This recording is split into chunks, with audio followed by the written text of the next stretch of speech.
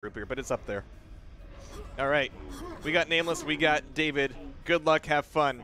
Right back here on Duel 5. This map sucks as naymlis, lol. My ping sucks. All right. So naymlis spawns, rocket launcher, that's gonna feel good. But Chain Gun's not gonna feel good on his chapped ass running away from David.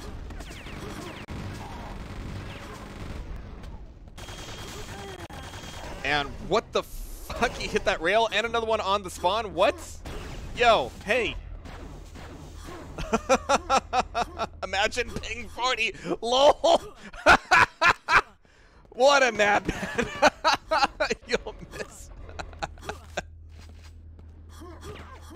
what a rail, though. Holy crap.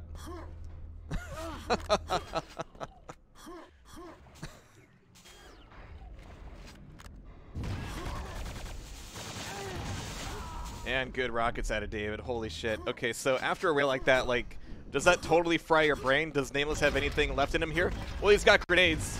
And, you know, close range pops. What the fuck? Okay. That's a good way to get back on the server. And naymlis, two frags for two on the grenade launcher. All right. And he's still managing to hold on to full health. Whoa, where did that rocket come from? What? and the second rocket launcher was bait. That doesn't always work, but David dropped it, or rather left it up without uh, naymlis's foreknowledge.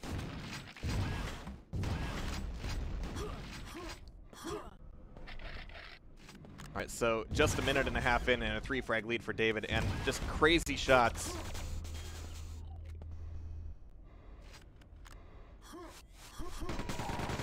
I like this from David, just like holding on to this quarter, and actually not even waiting for naymlis to come around the corner for that defensive chain gun. Just keeping him off his back. Switching over to rail. Imagine 40 ping. and missing all these shots. David should play Diabolical. It's really easy to hit rails from up above with the way the hitboxes work. Oh, and David's on the run. 8 health, and there we go. naymlis taking a frag back. Had to work for it, but now he's got a freebie on the lift. Yeah, if you don't get that frag, you, you, you should stop playing. Or, you know, keep playing a lot, grind it out, get better. That's always the mandate in Quake. Or go to bed like Myrmidon, that's all, also fine.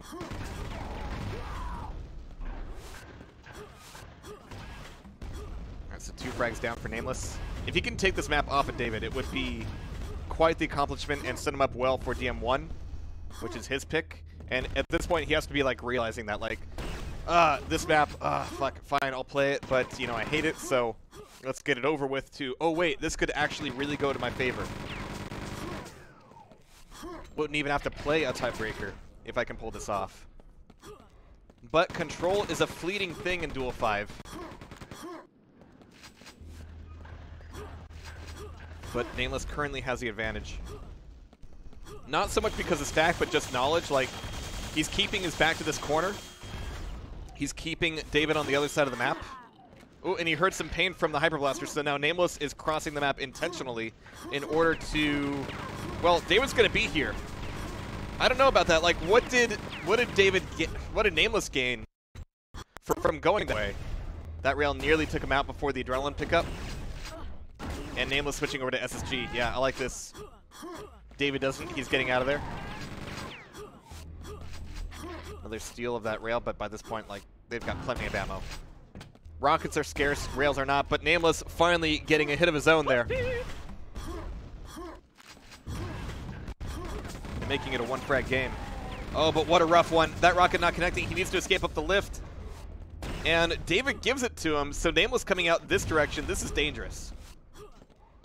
But naymlis wants those 25 health packs. They're split though. Oh, and the timing is like just a second off. Oh my god. that makes me rage so much. You want you want to not a whole lot makes me angry while dueling, but split health packs that are meant to spawn together that you're like depending on and you're counting off your fingers like, okay, I could go here, get this, get that. Having them split is just the worst fucking thing.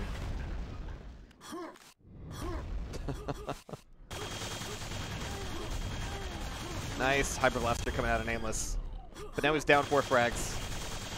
This might be getting him back into like shrugging territory. Like, ah, fuck it, it's, it's D5.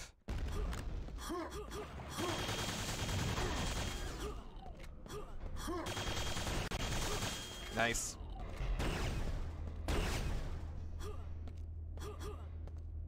But halfway through, and still a close game. Oh, but that jump.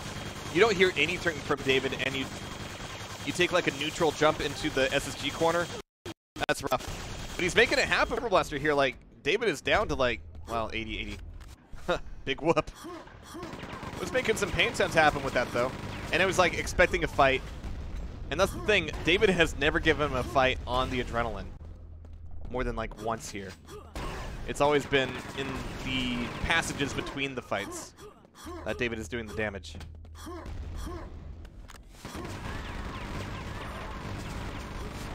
Nice chain gun, though. That's what naymlis keeps depending on, but it's a blaster shot from David, maintaining his lead by four frags. But they're both going to be relatively weak, relatively unstacked. David won't have a railgun for a hot second. 7 HP for David. Adrenaline's back up, but still no armor. So where is naymlis in all of this?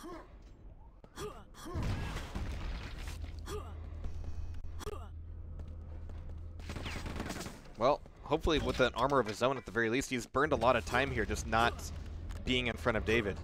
He has to respect the rail, knowing that David has the top of the map now. But there was that moment earlier before where, you know, he went to like Hyperblaster for no real good reason. David's at 1 HP. Didn't need to do that. But David at 1, almost getting that rail, looking for the defensive shot. But like anything, almost anything would take down David here. But with 21 HP, he makes a perfect shot, perfect frag. And I think like the next frag will absolutely seal the deal.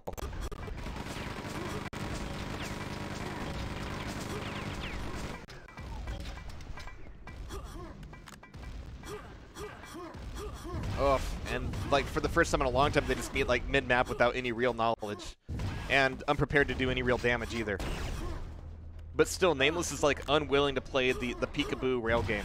However, when when David's at this angle, like that's what Duel 5 kind of begs you to do. It, it doesn't force you to do it, but it is optimal. Maybe that's why naymlis is saying, fuck this map. But he just took that one back. If this is a relatively fast frag, I could be having the barest smidgen of hope.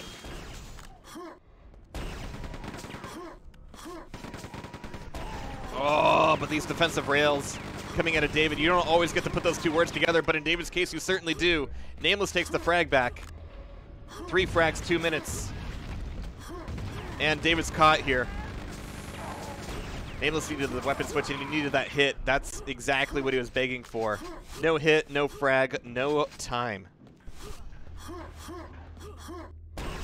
Oh, all right, all right. David didn't even give that one away, but naymlis didn't need to hit that rail. He didn't need to miss that rail either. That was an important shot. Vital. Like, he's getting these opportunities for spawn frags, and then he's whiffing his chance, which makes every frag take an extra 20 seconds, if not more. And that's time he just doesn't have right now.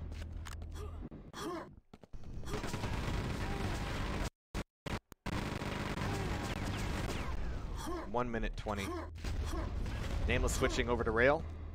It's do or die time. Do not miss this next shot. Just don't don't miss. Easy. Shoot the man. David is going to be making some movement happen and some defensive shots happen, but he's not going to be giving away these shots. naymlis is depending on this Hyper Blaster. if he already had a rail out, that would have been the angle. Oh, nice.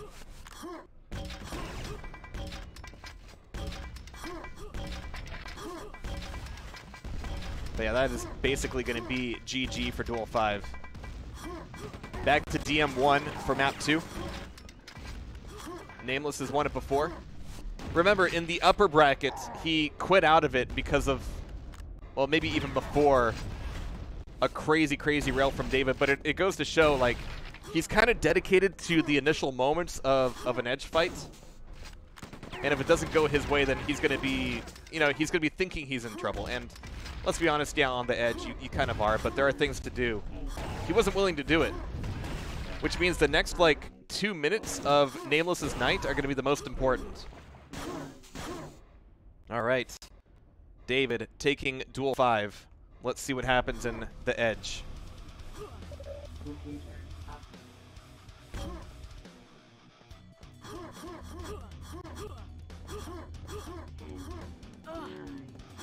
Here we go. Quit freezing. Honestly, don't know where that's coming from. All right, David spawns shotgun, SSG.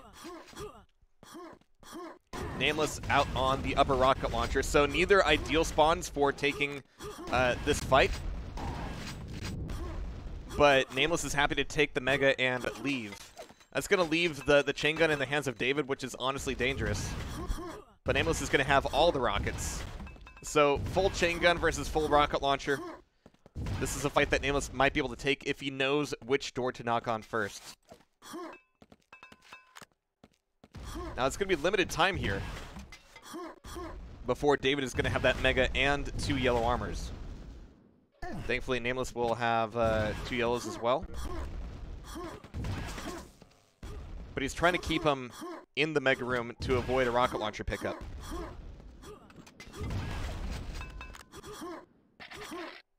No, it's not packet loss. It, it's definitely local. I'm getting it here too, but, you know. We'll, we'll struggle through. Poor little PC has been working just as hard as the rest of us this QuakeCon. Nice rocket hit. I'm not sure what that's going to lead into for naymlis, but he's thinking, Hyper Blaster, Hyper Blaster, what? Is this worth it? Come on, man. Like, you're playing with 100 ping too now. Like, he was all in after one rocket hit, and he dives down the stairs with a Hyper Blaster out. Oh, it was a good shot from David. I don't want to take that away. naymlis, man, buddy. Don't tilt here. This isn't Duel 5 anymore. But we can already hear that he's in pain from this chain gun.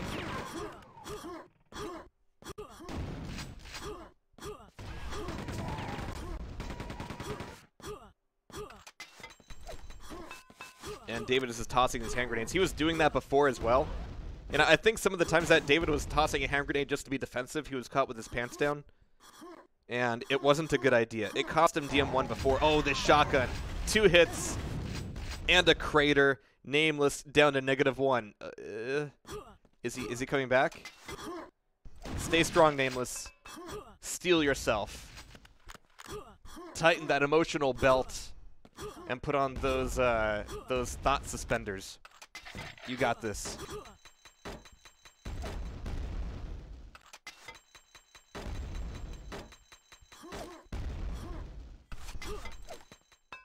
Frags are just a number.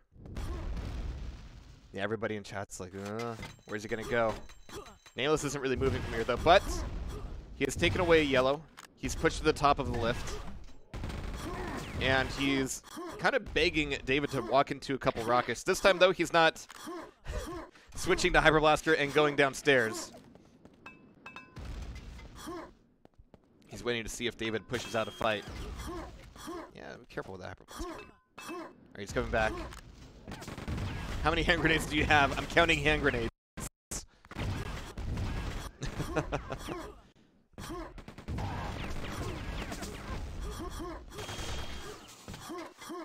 and naymlis going back down for lower rocket. I mean, he's got 10 already. It's just a little bit to, like, maybe pull David out of the Mega Room. We have had a couple opportunities where, yeah, like, David's eaten the rocket going out this door, which might be naymlis's way in, I love that rocket angle. naymlis getting a little bit of splash damage off. Playing outside, almost a perfect hit, down to 28 HP. There's like 125 down there, and he's barely able to get on that lift. naymlis can still get from point A to point B on DM1 faster than just about anybody. And he, just like that, he's just about recovered. He needs a yellow armor at least. He's, he's going from 13 rockets back up. Okay, fine. Is he attacking again? Trying to sneak a rocket over for the mega play.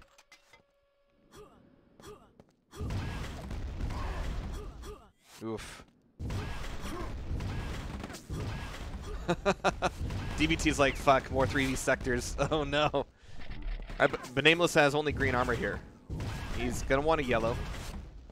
The fact that it's just a two frag game means every single one of these rockets potentially counts. Good hit. He's got David in a corner, up against the chain gun. It's a difficult angle. It's a difficult play, but naymlis is still here, and David is out of ammo. And we heard the water health taken. David could be getting a, a rail or going through the sewer. Yeah, no, he's still back here. Gonna come, come back up this nice jump. And naymlis wanted that mega. He might pay for it here. David manages to escape again.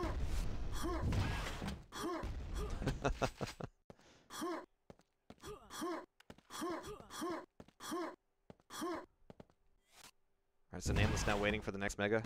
He's like effectively traded positions, but now he has to chase David, which is even harder in some ways than assaulting the Mega Room. Alright.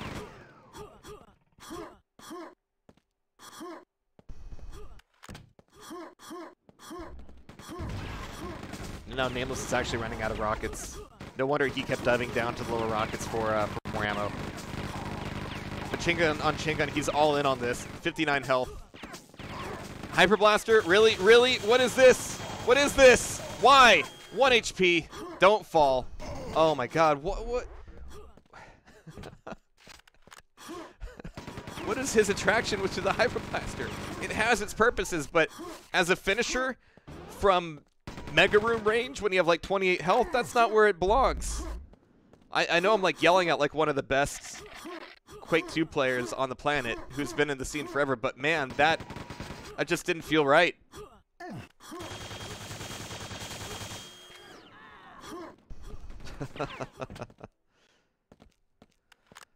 uh, three and a half minutes.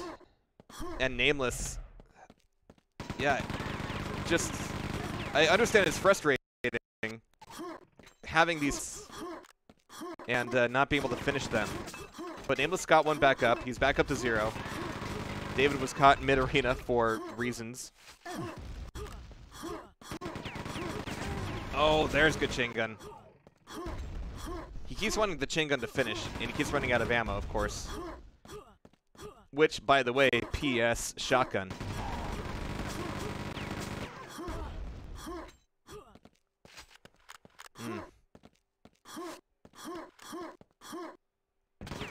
Here. It's literally only two frags, so naymlis is on the chase again. He's not doing what uh, what what uh, sorry what uh, Norman was doing and just going for the straight chase. He's breaking it off. He's keeping the lift at his back. If David wants to sneak back to the water arena, he's going to need to be very quiet and slow. Doesn't work out for him. naymlis hunts him down, catches him, finds him on the spot for SSG. And David is going to come back in for one more shot. He makes the super shotgun jump. Was that really his fight to take, or did he just want to show off the jump? It's a fucking rad jump, dude. I love that one. You don't even see it come into play very often. There it is. So Mega back in the hands of naymlis. Two minutes to play. Rockets coming out of David, but he's so weak. Is it enough? Did the corpse save him? It might have. The corpse might have saved him there.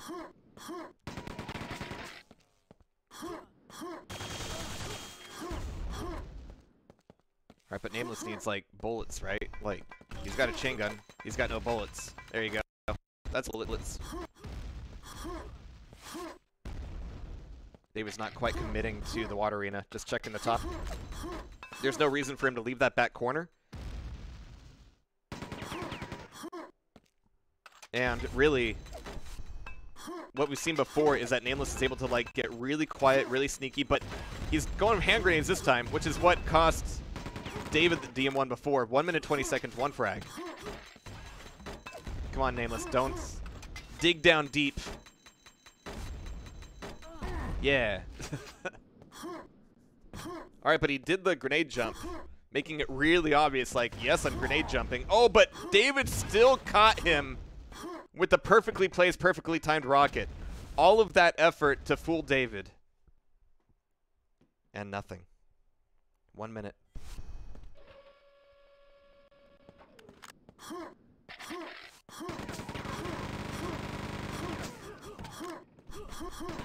Oof. The chase is on.